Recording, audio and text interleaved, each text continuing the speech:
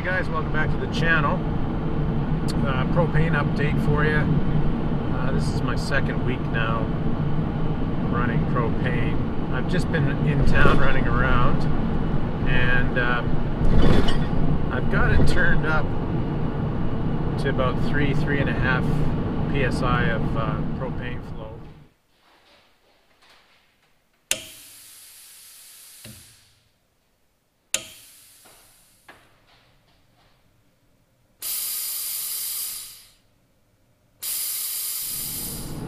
and it's uh, it's helped a little bit with power. I think I've got about maybe a five to ten horsepower increase, and um, I'm on a trip here to go pick up those dyno parts. I've got all the the attachments, adapters for the flywheel and whatnot. So this is a great test for the propane.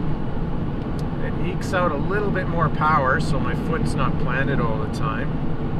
Um, but I've gained 25 uh, degrees in EGT in the process. So, contrary to what some people say of getting a less EGT, I'm actually uh, gained 25 uh, degrees.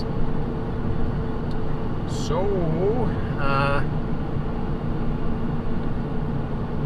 it's now 975 instead of 950 on a hard pull. So I still can't use overdrive on the long 8% grades, but um, we'll see what you know the higher numbers do. I'll slowly turn it up. Like every week, I turn it up like maybe 2 psi or 1 psi flow, and um, go from there. But I'm liking it so far, so good. The engine seems to like it. We'll see on this trip what kind of fuel mileage we get, if that's improved at all. Um, but uh, it's running sweet, guys. Really nice. We'll see if I gain any uh, fuel mileage on this or not. I'll probably have to turn it up a lot more but then again I'll probably be EGT limited again so I will have to address that again. Maybe bigger intercooler or something. I may just scrap the propane and put water meth in. We'll see. I don't know.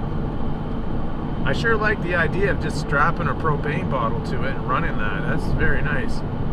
And uh, I'm into this kit for a do-it-yourself uh, kit for a hundred bucks, so certainly is cheap. Anyway.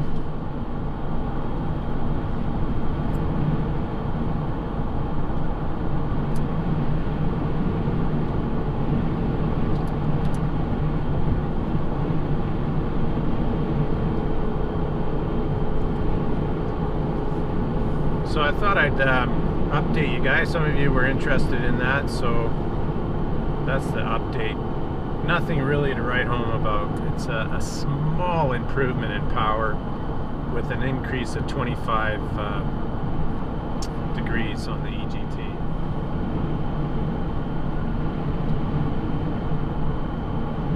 Well, I hope you enjoyed that, guys. And again, thanks a lot for subscribing, commenting, and uh, liking the videos.